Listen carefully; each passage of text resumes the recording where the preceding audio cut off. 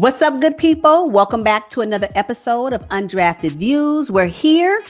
We talk sports from the sidelines. And today we're going to talk about the New Orleans Pelicans. Yes, the New Orleans Pelicans. We kind of like them too. So we're going to cover what we know about the team and what we suggest they do for the upcoming NBA season. Let's get into it.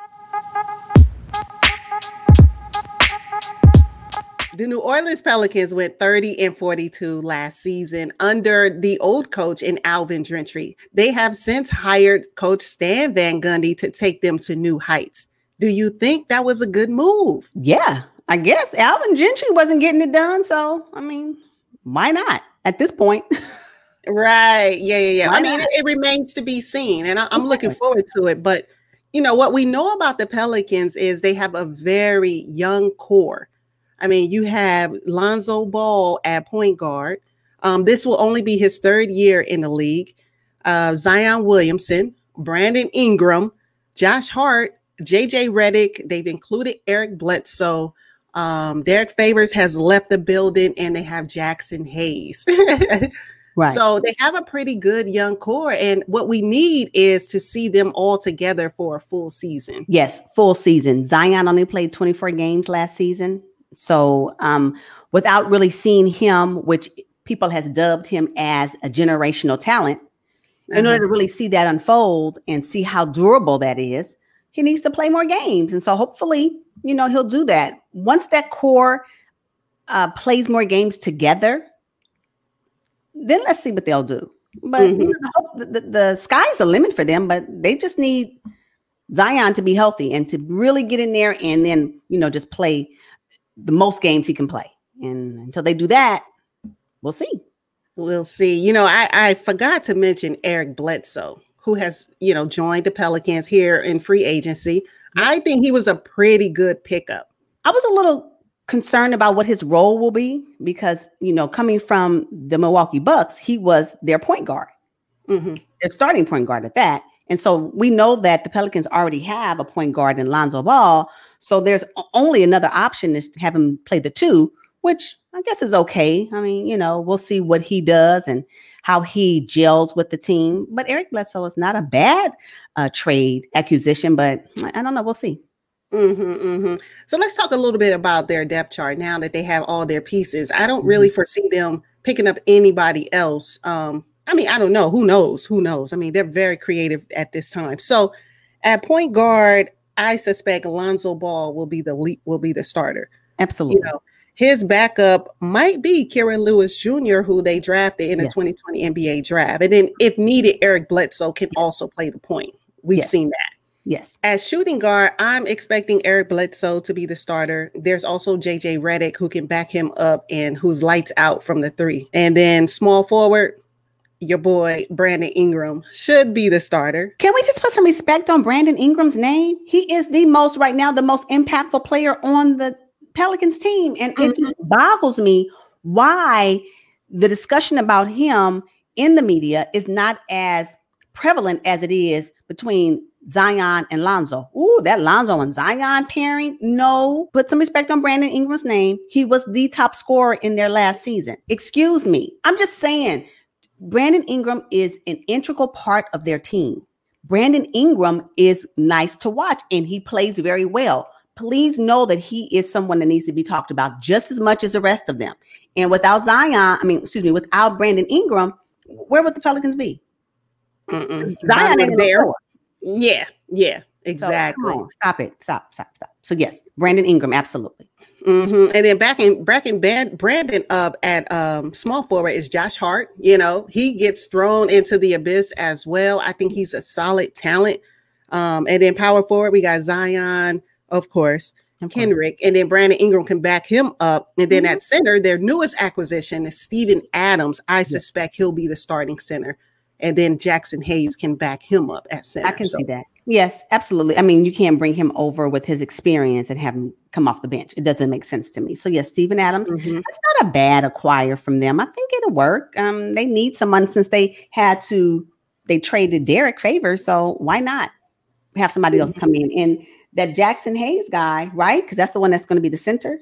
That's the yeah. backup center. Yeah, he's a rookie, so you still need someone with the Steven Adams experience to help shape and mold him to you know be his future center self. So I, th- I think it's fine. Yeah. Yeah. Yeah. I mean, it's I, the Pelicans look great. I know they really, really do look great. I don't know if they would acquire any more talent to their team, but right now, what they have appears to be solid. Mm-hmm. Yep. Okay, so Lonzo Ball is uh, in his third year, as I mentioned. He played 63 games for the Pelicans. He averaged about 11.6 rebounds and seven assists. 37% from the arc, which was his claim to fame, but he's only shooting 37%. And he's a horrible free throw shooter at 56%. I, I'm just not impressed with Lonzo right now. I'm so happy that they acquired a rookie in Kira Lewis Jr., and he has a lot of promise. So if Lonzo, hey, you know what? If Lonzo does not perform well, mm-hmm. I suspect Stan Van Gundy will slide in the rookie as at point guard, and Lonzo will have to watch from the bench. Ooh, I wonder mm-hmm. if the Pelicans fans would be upset with that because you know Lonzo have some really diehard fans, and they really uh, stand for his level of play. So I'm wondering if the fan base would appreciate. I guess it depends on if they're losing or winning, mm. right? So yeah, it was they needed to have someone as a backup, and you know, Lonzo can somewhat be a little bit injury prone, so they needed someone else. And then with Eric Bledsoe being able to be in the mix too, I think they have a great mm-hmm. um, resource that they can use to cover Lonzo if for some reason they need to sit him down and or he just needs to take a break. So, mm-hmm. yeah. Speaking of taking a break, uh, Zion Williamson played 24 games last season, averaged 22.6 rebounds, two assists, shot 42% from three, and 64% from the free throw line. His stats look good. Yeah. What doesn't look good is the fact that he played 24 games. I, am telling you, it, it blew me away to know how efficient he was when he was playing the game. Mm-hmm. Yeah, but, but your success will only be based on your availability. And if you are not available to play, right, then your team and your contribution to its success won't be there. That is the biggest key point takeaway from me when it comes to Zion. If, yep. Do you have what it takes based on these numbers? Absolutely. The problem is you're not available. so I can't do anything with you not being there. And that's for me the biggest gap in the Pelican success is that Zion Williamson, for this past his first year in the league, he was not there. So mm, yeah, it's terrible. But you know, Brandon Ingram, he's super durable. Played 62 games, averaged 23.6 rebounds, four assists, shot 40% from three, and he's a really good free throw shooter, 85% really good. That's what I'm mm. saying. So um, when I when you mention Zion, I'm gonna need for y'all to make sure y'all follow up that same conversation with Brandon Ingram. I'm gonna need mm-hmm. for him to always be on top of mind for people because he is right now carrying, or he did last season. He carried the Pelicans. Yep, sure did. There's no bones about it. And they, if they're smart, they better go ahead and sign him to a max deal. They will want to. So can mm-hmm. you imagine based off of Zion's performance in his 24 games, along with Brandon Ingram's production, and then the assist um, skills from Lonzo, Alonzo Ball. All of that together with mm-hmm. the complementary pieces of your Eric Bledsoes, and now yeah. your Steven Adams, and you know, and then your, your, your new rookie and what's his name, um, Kira Lewis Jr. If you bring all of them together, come on, yeah. Pelican next season will be something to really watch. And they will most definitely secure a spot in the plan. Totally secure a spot in the plan. Only the plan. You don't think he'll be they'll be solid in the one through one six. through six at least? At least. Yeah. I don't know yet. The West is hard. Ooh, I don't know yet. I can't say that today, but what I can say is I can most definitely see them being a part of a play-in tournament. That I can't say. Yes. Okay. Okay. Cool. So moving down the list, Josh Hart he's one of my favorites. I think he's yeah. gritty, he's tough, he's a really good defender. It's his third year. He's durable. He played 65 games last season, um, averaged 10.6 rebounds, 34% from the three pointer. he's an average free throw shooter at uh, 73%. I like him. Yeah. So why can't he be a part of the six man of the year? Where was he?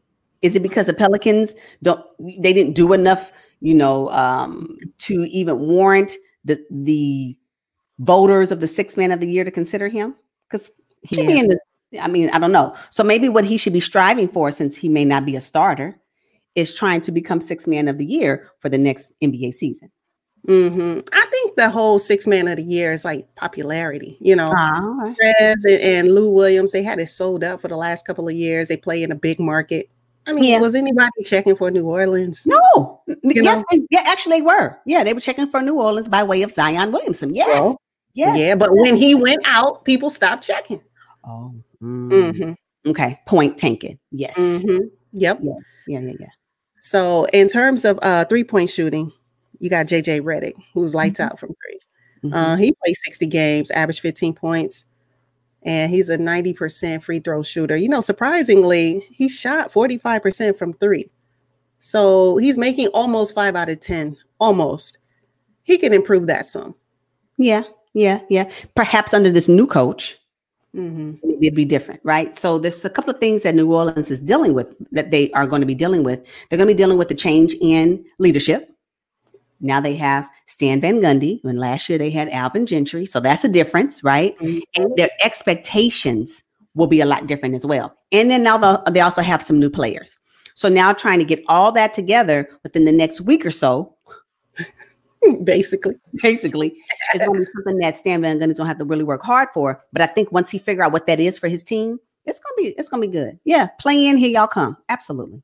you in this play in. Oh my god. You know what? Let's just be honest. You got two choices this season, right? Either you're gonna be a solid um playoff uh team between one and six, or you're gonna be a solid play-in tournament team between seven and ten. You pick your spot. Yeah, you do not want to be between seven and ten. You don't want to be between seven get, and ten. Yeah, you will be. You will end up like Memphis last season. Absolutely. That's what yep. I'm saying. So teams need, so we, when we talk about, you know, before they got to make it, you know, want to be one of the eight seeds. No, you don't. You want to mm-hmm. be one of the six seeds because if you are the eight seed, then you're gonna have to continue to play hard. Yeah, so I think that's their core. Um, Steven Adams, his acquisition, he makes twenty-seven million dollars a year, but he's gonna give you solid defensive presence. He averages 10 points, 11 rebounds. He's six foot 11, 265 pounds. I mean, just strong. He's like a brick wall. He's he'll be good in the pick and roll. Yes, yes, yes. I don't know if he has great um perimeter shooting. I think I read no, that where he doesn't, he really do that. But you know what though? He don't have to. Mm-mm. He can do like enough guards. Yeah. Huh? They have enough guards to um to take care of all the perimeter shooting. Yeah. He can just yeah. stay down low yep. and bang. Yes, yes, yes, yes. So yeah, I'm here for the New Orleans Pelicans next year. It's gonna be amazing. Yeah. Zion.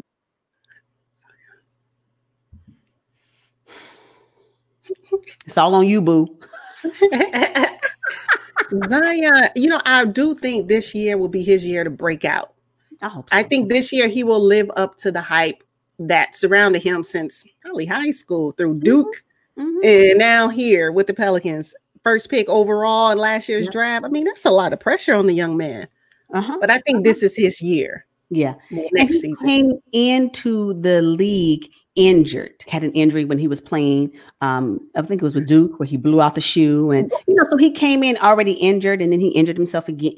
You know, he had a lot of lingering injuries. So hopefully with the time off, right, with the proper training and the proper physical um, therapy, rehabilitation, and a proper diet. I'm gonna need for him. Not uh, this is no, and by no means do I have a problem with anybody being any size. I'm just saying for him to run up and down the court, he has to get lose some weight. I'm just gonna call it what it yeah. is. And if he does, he'll be able to sustain the fast paced game that's happening right now. You don't want to be winded. Teams will eat you up if mm-hmm. you are not a team that cannot keep up with the pace. And him being a rookie, not a rookie, excuse me, him being in the second year with the uh, claim of generational talent that's been put upon him, he's going to have to really work up his physical stamina and it's just going to have to happen. So, I mean, in terms of what we suggest, you know, for the Pelicans moving into the next season. We covered some of our suggestions, but mm-hmm. I think it's important to note that Stan Van Gundy wants to play small ball. So, in mm-hmm. keeping with what you said about Zion's stamina, he's definitely going to have to work on his body. There were some reports that uh, Zion has transformed his body this off season. So I can't so, wait to see. Uh huh. Yep. Mm-hmm. And then uh, I think the in terms of their three point shooting, I know they have JJ Redick. I mean Brandon Ingram. Zion is actually a really good uh, three point shooter. Mm-hmm. And I think mm-hmm. a lot of that is because he was like kind of winded and heavy, and he didn't want to like, you know, run back and down as much. So he would just stop right there and shoot. right, right. Which is a great, which is great for him to have um Steven Adams come in to kind of help with that. Mm-hmm. Now, Derrick Favors, he's not there anymore. So now they have Steven Adams. So maybe that'll help him. I think that um they need to work a little bit more on their defense. You need some type of defense strategy to help make stops. And I think that they can work a little bit more on that. And if they were to incorporate, and Eric Bledsoe is really good because, as a matter of fact, Eric Bledsoe adds some of that defensive um, strategy that they need to add to the Pelicans' core to help them um, achieve their next level. So it's needed some type of defense, some form of improved defense. I would say they need. Yeah. Okay. You know what? I need to mention that um, the Pelicans were extremely gutsy in bringing on Teresa Weatherspoon. Come on. The, yeah, yeah, yeah. Hiring her on the coaching staff. Mm-hmm. Special shout out to Teresa. I mean, I think that's great. I think the NBA has not only included her, but other WNBA players. You know, Swin Cash, you got uh, Ivy, you know, they're all on the coaching staff with various NBA teams, and that would have never happened even six years ago. That would have yeah. never happened. So it's good. We're seeing some some progression. And I'm happy about that. Thank you. You got a long way to go, NBA. Yeah. But, hey, thank you for now. thank you. Let's keep it going. Come on. exactly. Power. Exactly. So yeah, you know what? That wraps up um, our episode on the New Orleans Pelicans, what we know and what we suggest for them for the next season. I'm looking forward. Overall, I think the Pelicans look really good. They should be very exciting to watch. And if uh, we can get Zion and the whole crew to finish a whole season, I think you put them in the play in. I actually see them somewhere around five in the West. What? Yeah. How? How? How? Just because I think they're going to be playing at a really fast pace and they're going to be outscoring a lot of teams who like to just like the Spurs or or you know even even um even Denver. I think Denver needs to up their pace. So eh, you know we might see something in Portland. I'm not impressed with the moves that Portland has made, so that allows New Orleans to potentially move up. I picked them at 5 in the West. What? I mm-hmm. can't. Okay. All right. Okay. Well, guess what we'll be doing? Watching them. Just yep. to see if they can make it there. I am here for it. I don't see it, but okay. You yeah. know, again, I don't see it because I'm all contingent on whether Zion can make it happen. So, but okay, all right, all right, it's a deal. all right. All right, you guys. Thank you all for tuning in. Um, make sure if you like this kind of content that you go ahead and subscribe to our channel. Make sure you engage us in the comments. Let us know if you agree. What type of suggestions do you have for the Pelicans moving into the new season? Yes. And uh, we will see you guys on the next one. Until then, peace, y'all.